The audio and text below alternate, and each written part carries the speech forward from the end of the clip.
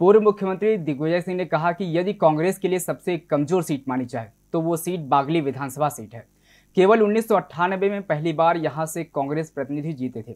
इसके बाद से यहाँ पर कोई कांग्रेसी नहीं जीता है। वहीं दिग्विजय सिंह ने कहा कि भाजपा पर दीपक जोशी की अनदेखी करने का आरोप लगाते हुए कहा कि भाजपा ने उनके पिता के साथ गलत किया और उनके साथ भी गलत किया। पूर्व मुख्यमंत्री दिग्विजय सिंह ने कहा कि पूर्व मुख्यमंत्री कैलाश जोशी को भारत की राजनीति में कभी सम्मान नहीं मिला। छोटे छोटे राजनेताओं को पद्मश्री पद्म भूषण दिया गया। लेकिन इतने बड़े राजनीति के संत माने जाने वाले कैलाश जोशी को कोई सम्मान नहीं दिया गया। पूर्व मुख्यमंत्री दिग्विजय सिंह ने कहा कि जैसे भाजपा ने कैलाश जोशी के साथ व्यवहार किया, वैसा ही व्यवहार उनके बेटे दीपक जोशी के साथ भी किया गया। कोरोना काल के समय जब दीपक की पत्नी बीमार थी, तब उनकी पत्नी की इलाज करवाने के लिए भाजपा ने कोई मदद नहीं की। पूर्व मुख्यमंत्री दिग्विजय सिंह ने कहा कि मुख्यमंत्री शिवराज सिंह चौहान के पास साढ़े नौ करोड़ की संपत्ति कहाँ से आई? इसका जवाब मुख्यमंत्री चौहान दे। इनकी सरकार में व्यापम से लेकर तमाम घोटाले हुए। ये घोटालों से भरी सरकार है।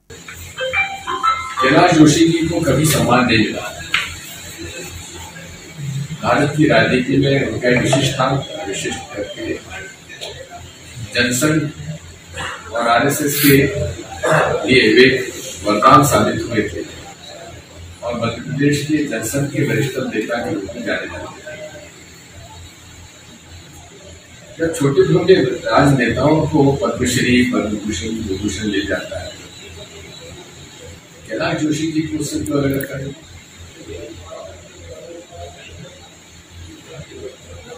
कभी भी भारतीय जनता पार्टी की सरकार में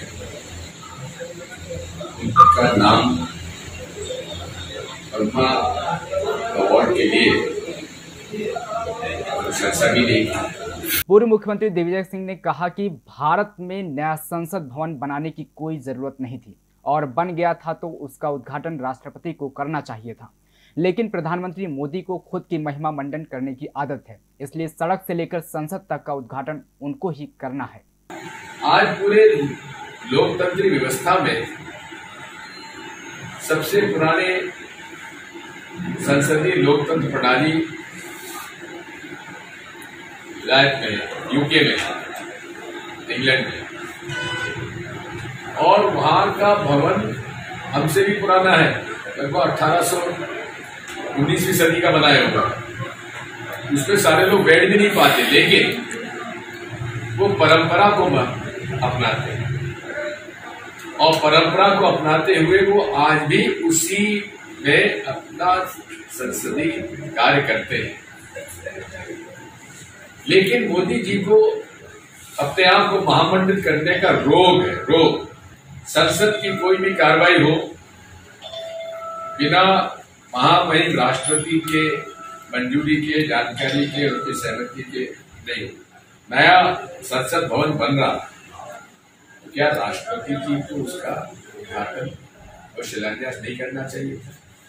वहीं पूर्व मंत्री दीपक जोशी ने कहा कि जिस नैतिकता के आधार पर भाजपा बनी थी, वो नैतिकता पार्टी में बची नहीं है। जोशी ने कहा कि मैं अपनी कुछ मांगों को लेकर मुख्यमंत्री शिवराज के पास गया था, लेकिन मुख्यमंत्री चौहान ने कोई मांगे नहीं मानी। जोशी जी, की ईमानदारी को कैसे भूल दो, सिर्फ़ क्या है के के के अच्छे उनकी ईमानदारी को लेकर उनके स्मारक को लेकर उनकी कुछ बातों को लेकर मैं मुख्यमंत्री जी के पास गया करण जी के क्या बी शर्मा जी के पास। और मैंने यही कहा कि आप मेरे के लिए, मेरे लिए कुछ मत, मैं कुछ बनना भी नहीं चाहता। आप मेरे पिताजी की कुछ बातें तो पूरी कर एक बात वो चाहते थे कि बागली जिला बना। और बागली जिला बनाने के लिए शिवराज जी ने घोषणा की था कहा था कि नहीं सौभाग्य है कि आज होलानी परिवार और दीपक जोशी वाले होलानी जी परिवार और जोशी जी परिवार साथ है। और अगर ये दो परिवार साथ हो गए ये दो परिवार बागली विधानसभा की शायद पहचान रही है। होलानी परिवार को जोड़ दिया जाए तो मेरे ख्याल से बागली पूरी समाहित हो जाती है। अस्सी परसेंट अगर जोशी परिवार है तो बीस परसेंट होलानी परिवार है। तो आज मैं चाहता हूँ कि अगर ये दो परिवार मिलकर काम करेंगे और बागली विधानसभा में तोड़ेंगे तो मेरे ख्याल से कोई भी उम्मीदवार लड़े कांग्रेस का परचम यहाँ लहराना चाहिए मध्य प्रदेश की महिलाओं के आर्थिक सशक्तिकरण के उद्देश्य से संवेदनशील मुख्यमंत्री शिवराज सिंह चौहान द्वारा मुख्यमंत्री लाडली बहना योजना का उपहार सभी पात्र महिलाओं को दिया गया है। इसके तहत उन्हें प्रति माह एक हज़ार रूपए दिए जाएँगे। ये राशि सीधे उनके बैंक खातों में पहुंचाई जाएगी। योजना की प्रक्रिया बेहद सरल और निशुल्क है। योजना से जुड़ने के लिए बहनों को कहीं भटकने की आवश्यकता भी नहीं है। 10 जून को पहली किस्त बहनों के खाते में आ जाएगी एक हज़ार रुपया की पहली किस्त। योजना से जुड़ी अधिक जानकारी helpline number zero seven double five two seven double zero eight double zero एवं website C M Ladli Behna dot M P dot G O V dot in आरोप प्राप्त की जा सकती है। चलो बहना। वो खबरें जो आपके काम की है। वो खबरें जो आपके लिए ज़रूरी है। हर आम और खास से जुड़े मसले। हर मसले का सटीक विश्लेषण। हम करते हैं सत्य का अन्वेषण। दखल न्यूज़। आपके हक में। आप देख रहे हैं दखल न्यूज़।